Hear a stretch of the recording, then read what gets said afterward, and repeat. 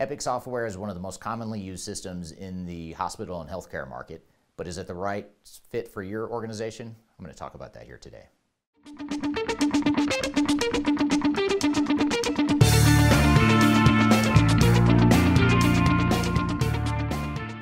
Epic software is one of the leading EHR or electronic health record systems in the healthcare and hospital market. And it's proven itself quite the niche in the marketplace. It's been quite successful. It's a 40 year old company that does about $3 billion in revenue. And in fact, worldwide, about 3% of patients that go to hospitals or to doctors have their visits and their experience processed through Epic software. In North America, that number is even higher at over 50%. So it's a product that has established a very strong niche in the marketplace.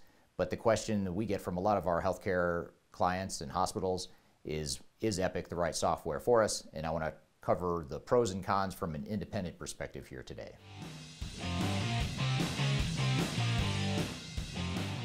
Now, if you're comparing Epic software to other EHR systems in the marketplace like Cerner or McKesson or Allscripts, you may be wondering what are some of the strengths that make Epic different. And some of those strengths, first and foremost, are that it can handle all of the needs or most of the needs of most hospital and healthcare organizations. This includes workflows like patient visits, scheduling visits, patient records, telehealth, ambulatory services, surgical, all the different components of a hospital and some of those healthcare related processes can be addressed by Epic. And Epic is one of the few systems in the marketplace that is built for EHR and for hospital operations. So that's probably the biggest strength of Epic is that it's been built over the 40 years to focus on this very specific need and this very specific and important niche in the economy. One of the other advantages that customers of Epic realize is improved workflows, more efficient workflows, more cost effective workflows, uh, better patient healthcare, which is very important, and that's particularly important in situations where it's literally a matter of life or death. So having the right technology that can help hospitals and doctors and healthcare providers provide better service and better outcomes for their patients can be very critical. And that's a strength of Epic is being able to provide and enable and automate some of those processes and workflows that allow hospitals to do that. Another strength and unique consideration with Epic software is that it has artificial intelligence and business intelligence and analytics that allow healthcare providers to provide better service and to better predict and understand patient needs. And this goes not only for their own patient population, but also benchmarking to other patient populations outside of their organization or outside their customer base. So that's a unique factor of Epic is there's so many organizations using this software that it provides customers to a very broad and robust set of benchmarks that healthcare providers can use to ascertain problems, look for trends, and understand what their own patients might be going through and what the proper solutions for those patients might be. Another consideration is because Epic is focused on healthcare and EHR, is that it allows for regulatory compliance. So all the regulatory requirements of the healthcare industry can be met by Epic as well as some of the individual niches and bolt-ons or modules that fit within Epic. So for example, Epic provides modules or offers modules for uh, dental providers or for dermatologists or for home healthcare providers. So there's a lot of very small micro niches within the overall healthcare industry, and Epic has the breadth to be able to address some of those varied needs. And because some of the biggest healthcare organizations in the world are using Epic, they've really invested heavily in the R&D to provide the functionality to address some very broad capabilities and needs that these organizations tend to have.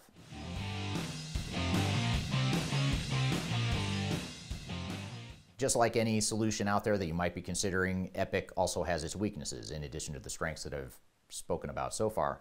And probably the biggest weakness of Epic and the biggest trade-off that organizations need to make when implementing Epic is that Epic is not a true enterprise resource planning or ERP system. So in other words, it doesn't necessarily address certain capabilities and needs that hospitals and healthcare providers have outside the realm of that, call it patient or customer experience.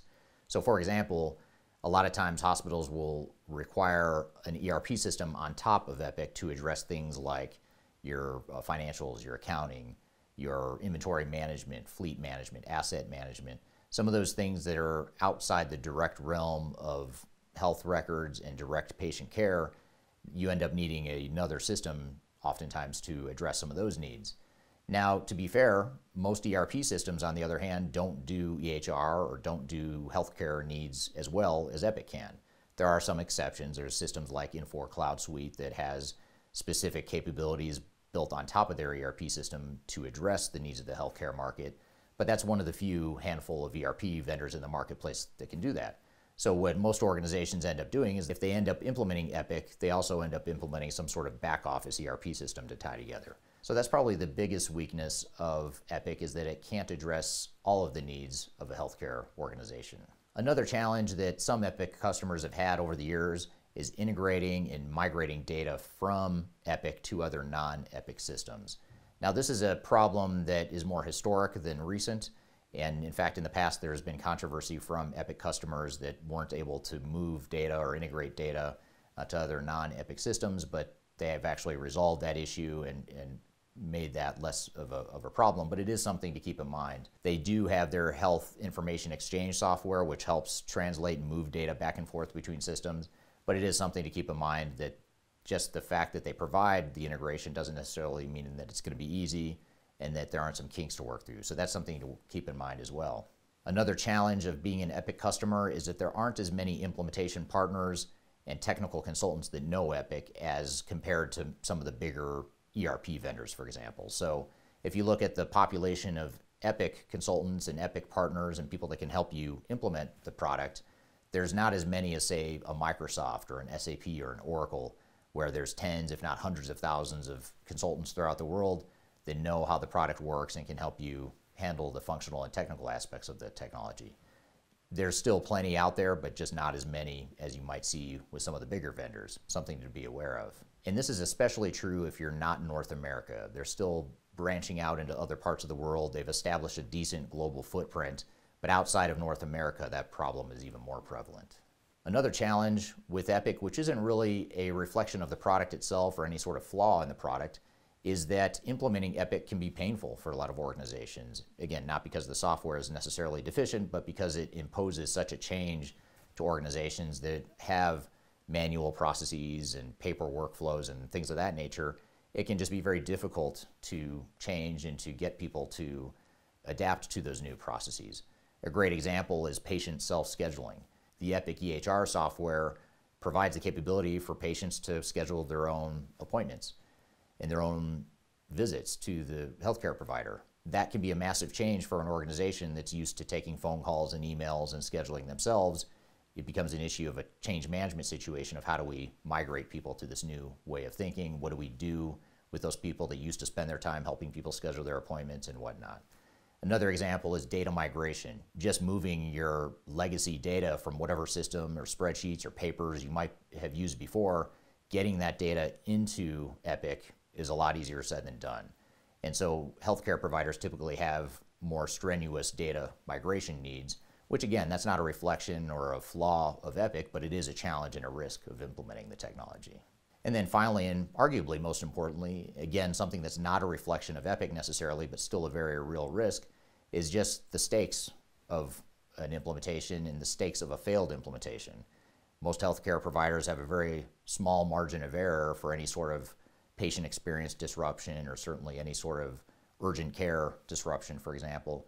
So you want to make sure that you've really planned the implementation around the realities of your day-to-day operations and make sure you've mitigated risk so that you're not disrupting the patient experience. And then lastly, one of the most important things to consider as well is that Epic recently announced in the fall of 2020 that they were implementing a record number of installations of their technology throughout the world meaning that they had more customers migrating to Epic than they had ever had in the company's history. That's great for them. It, it's a sign of the success of the company and it's a result of their traction in the marketplace. But there's risk there. Resources are going to be spread more thin, and there's a higher likelihood of risk when you have that many implementations happening at once. So it's something to be aware of. It's not a risk that can't be mitigated, but something to have in mind as you embark on your journey.